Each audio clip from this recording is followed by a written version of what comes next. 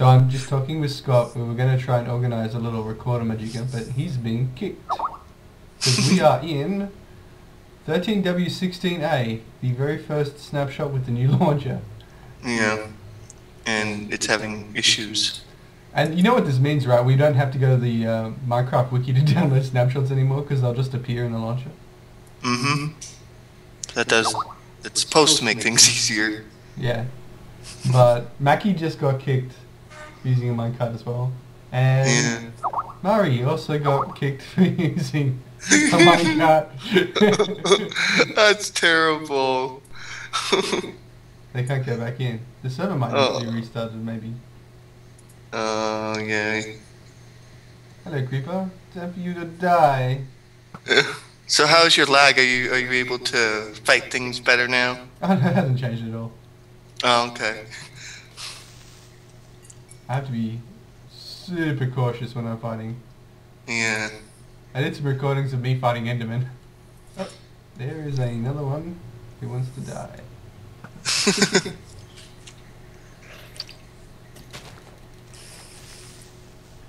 Yeah, when I get close to the mob, I just sort of have to spam the sword, hoping that one Mhm. one hit will do something. yeah. Yeah, get my gunpowder from that. That's good. Put that away. Yeah, this is a. I I I just got a silly webcam mic, and all this Mhm. music and stuff's coming out through my regular speakers. So this is a. This is just sort of a test to see how bad that is. Uh, I really need to get like uh, headphones and mics set up on this PC because it's set up on the Mac Mm. and I need it there. And either I get myself another exact mic for the PC, because when I was swapping it using a USB switcher, it, Yeah. it just didn't work. Uh, it would it would constantly sort of break. Um, so either I get another one of those because they're so good. Mm-hmm. Is that the one that's in your picture on Skype? Yeah.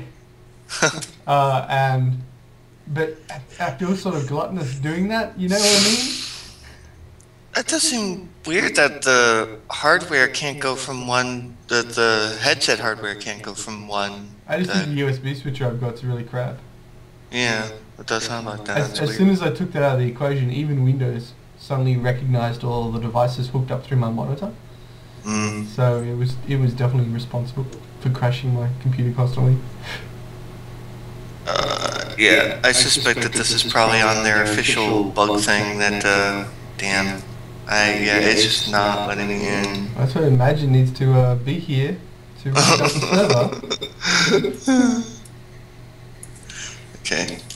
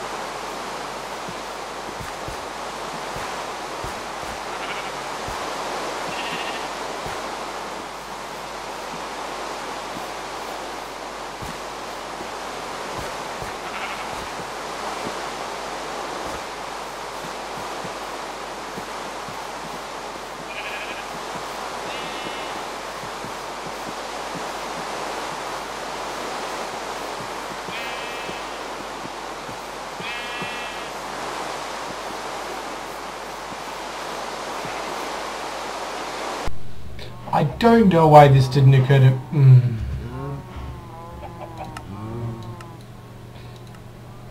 I don't know why this didn't occur to me before, but as I was taking a nap on my couch after watching some Minecraft, for some reason I thought I, I had the, felt the need to go and count up how much this configuration of farming would give you. And uh, you know, 9 times 4, so 6, 72, plus the 8, 80, so 64 and a 16. And um, for whatever reason, it never clued in to me before that this these lines here, yes, it's more efficient to have them, and you get that extra 16, but without them, you can light the thing, and you get a perfect stack. And uh, yeah, I just thought I'd share that. Well, when I go to do the rest of my farms, that's the way I'm going to do it. And it'll, you know, be a pretty nice little pattern on the landscape, so that's also another bonus. I wish that was a bit more predictable, that jumping up and down. I need to make a shovel. I was mining and I didn't have a shovel and it took me forever to get through the gravel. Because when you're mining with gravel, well not for gravel, through gravel, usually it's not very high so using the torch trick doesn't help very much. Okay, so let's move this torch in.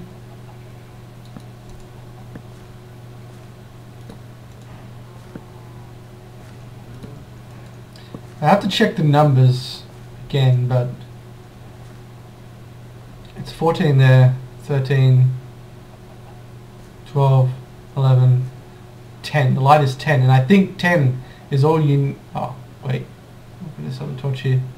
Well, I can conduct more experiments later.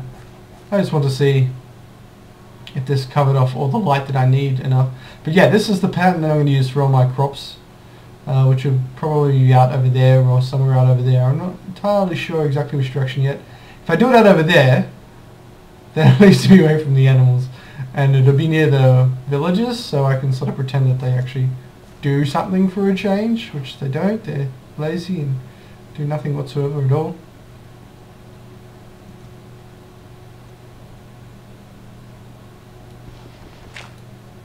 I think I can breed these guys again.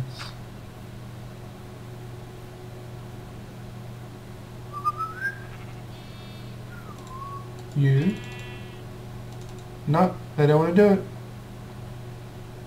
Hmm.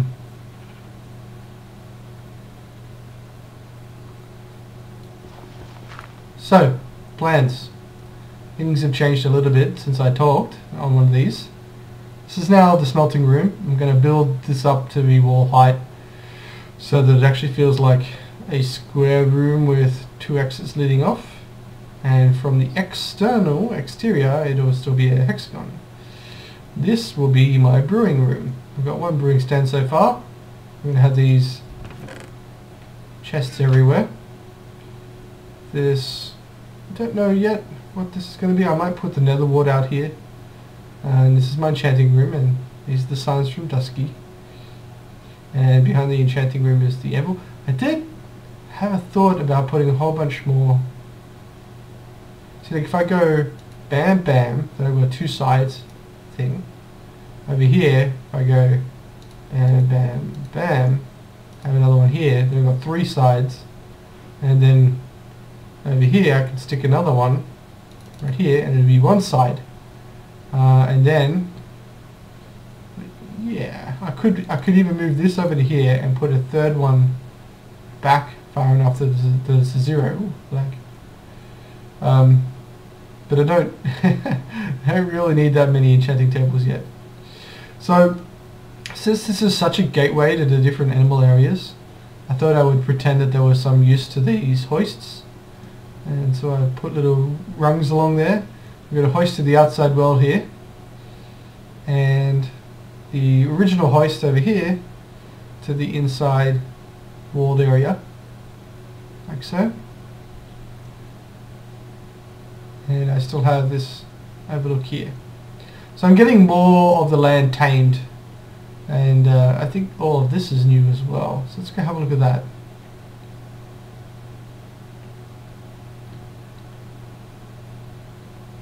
Oh, I'm not even sure I ever showed off the downstairs, so we'll do that as well. So uh, I redid all these walls to actually be cobble, since this is a cellar area underground, with these uh, stone fences, and that I think it gives a you know this was the sort of look I was going for originally. I just never finished it before, and uh, now there's a new staircase here, and this section uh, I built with Dusky. Dusky came over and helped. This is going to be my storage room. This is using trap chests in the middle here so that we can have chests side by side, uh, which is always good looking, which is why they face each other. It's uh, something that not a lot of people seem to know about trap chests, is that they face in the opposite direction as regular chests. So naturally I can go up as well, uh, and I'm just using general grouping. So this is anything stone related, anything wood related. Down the back here I have redstone. And, uh, and that will make it a much simpler, and I can still be kind of chaotic with my, with my storage. That way I don't have to really focus too heavily on how I'm organizing things, where things go. Uh, I still need to put a roof on this. But yeah, this is the new hallway with three windows looking out over what's going to be a gardened area. I'm going to put some ornaments and some water and ponds and things in there. Uh, to make it nice. And here is a tower that is almost done. Nice derp tower. And this is going to be a bridge across to there where the keep will continue and I'll have my living quarters and this is what I was talking about with potential farms. If we come out over here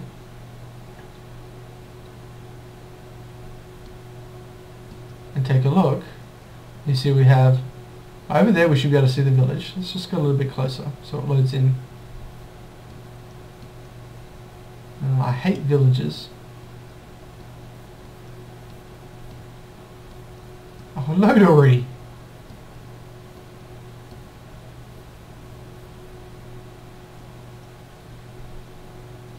Hey there. F3 changes the depth of field. Look at that. Cool. Should be back on file. Right, so there's the village. There's all of this open area here. Oh, look, frame past a bunch of. And also, I haven't disoriented myself completely, yeah, under there is a skeleton spawn. So, if I cultivate this area as farming of all kinds and all things, just sort of out and maybe fenced off with some lighting, uh, then I will have uh, my home at the top here, my bedroom I should say, with a decent view, normally, good, good work for apps, there we go, decent view of the rest of the Cape, village, and the farms. And that's the general direction I'm heading with this. So this will be a, you know, a safe bridge. This is my anti-mob trap. Oh, I just got caught in it. I just got caught in my own trap. Basically, simple anti-mob trap. Since they don't jump, they can't make that jump. So, nice and safe. So I don't entirely know what I'm going to do with this tower. Uh, but it's going to go one floor higher than that to give it proper uh, proper ratios so that it looks right as part of the building. And you've got these sort of little skylight holes in the roof here to put a little bit of light in that, that isn't real light. It's it's light that doesn't give you light. And uh, I also lowered all of these lights here so that this room would actually be properly lit up. Uh, I'm paying attention to the lighting because you know there's always a creeper or something appearing over here, which is very annoying. But uh, that's the uh, that's the update so far. Uh, lots to do still, lots of roofs to make. Um, maybe I should also consider giving a gift back to Dusky because he's such a nice guy. But don't tell him that. No, you know what? Tell him. I don't care. But yeah, so this this won't be here forever. The chickens will probably will, I, but I might make them, give them a full area. Sheep out there, pigs I don't care about. Horses, on the other hand, that's where things start getting a little bit more interesting. If I have horses, I don't know where I want to put the stables. I have to think about it because I certainly don't care about pigs. I get, like, I've got 47 meat now, you know, and going through here and breeding these guys and culling them off is pretty easy now that I've got the numbers up. Is that a sheep? Hey. I was wondering where you went. I guess you wandered in on your own. I'll, I'll get him over there at some point. Yeah, so I moved on from using potatoes for food, and now I'm using steak. And this is a big step. I am nowhere near as developed as anybody else on this server with the whole Squire system, or whatever they want to call it. Uh, uh, and uh, a lot of other people have been playing a lot more than me as well, so... Um, I'm pretty behind, but I'm also I don't mind playing sedate. You know, I'm I'm enjoying taking my time. Oh, we have a spider come visit us.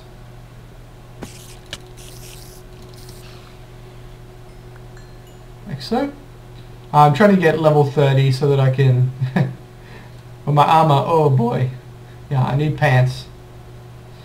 I need diamond pants. So the rest of the server went and killed Glydia, the uh, Ender Dragon, and I have my own portal to it, which I'm going to hook up to the end, because an Ender Ender is something I built in the last world, and it takes a lot of work.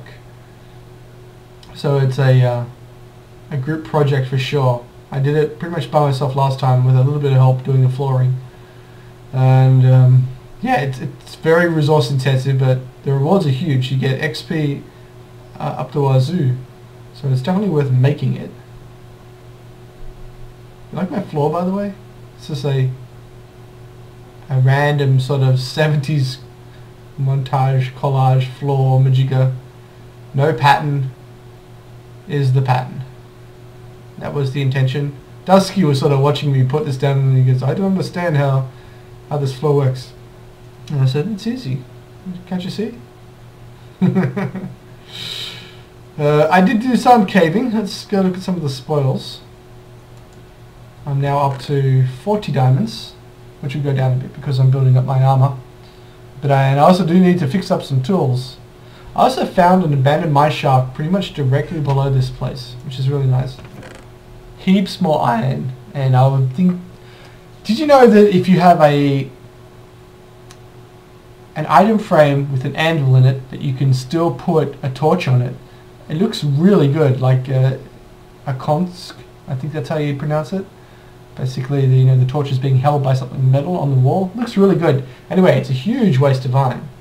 So I'm going to have to use them sparingly, but in places where I can't figure out how I want to light... Lighting in Minecraft It was one of the first things I modded when I was running the server, was I reduced the spawn light down to 1 instead of 7 so that's the light on the ground. You know, if we look here, BL there is 9, uh, and that number is at my head, so it's 8 here on the ground, which means nothing can spawn there. Um, right here, technically, a mob could spawn. So that's a 7. Uh, although, no, actually, and this is, this is where lighting gets really stupid. So if we count the light coming up from here, it moves along the floor. Ah. Uh, which means the floor is not actually 7, it's actually 9. The light's coming along the floor and then it comes up to my head. Right? But when you look at torches that are, say, say there was a torch here, right? Then the light comes along through the, the thing and then goes down. So then you subtract one at your feet. Okay, so nothing can spawn here. This is technically level 9. You have to be so careful with the lighting in this game, which is why when I modded it, I made it light level 1 and that meant anywhere that you haven't even attempted to civilize, you would get mobs. Uh, even the, the minuscule amount of light that you would normally put anywhere would be enough to keep most mobs away. And I felt that this was a really good change to the game. Um, so when we do get our mod API, and that's looking like it's getting closer and closer now with the new dev launcher, I'll be proposing that to the group again. The the various changes I'd made to the to the last server. We'll see which ones people want to bring back and of course look at doing new ones as well. But that's it for now. Uh, just a bit of a chat about my future plans for this place. And uh, now I'm going to go watch Doctor Who.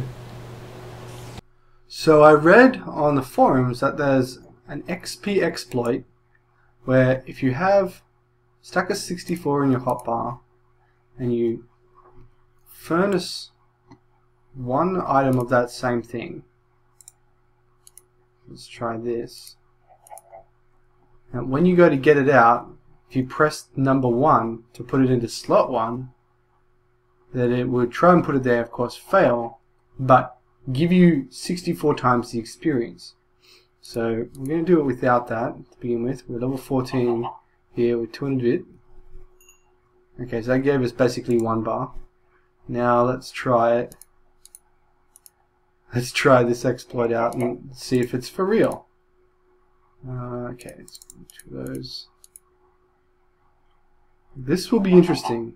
So it should just give me like right up to the edge of level 15 unless the exploit works in which case it should be somewhere into 15 okay here we go.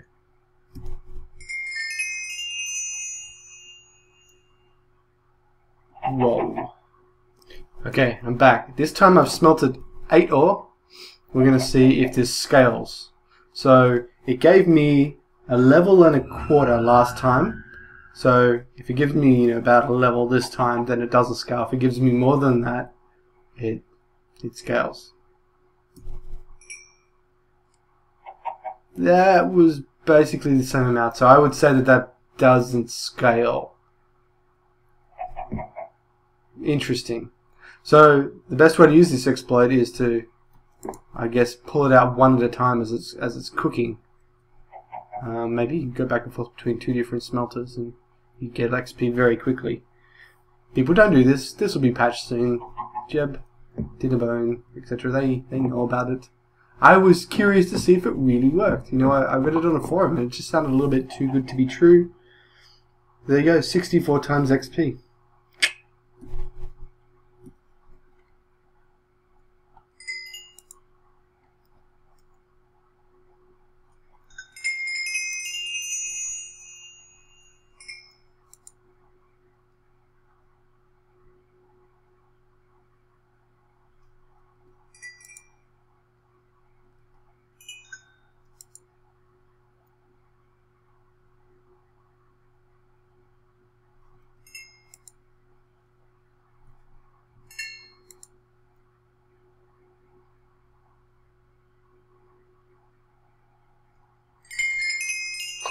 There you go, level 30.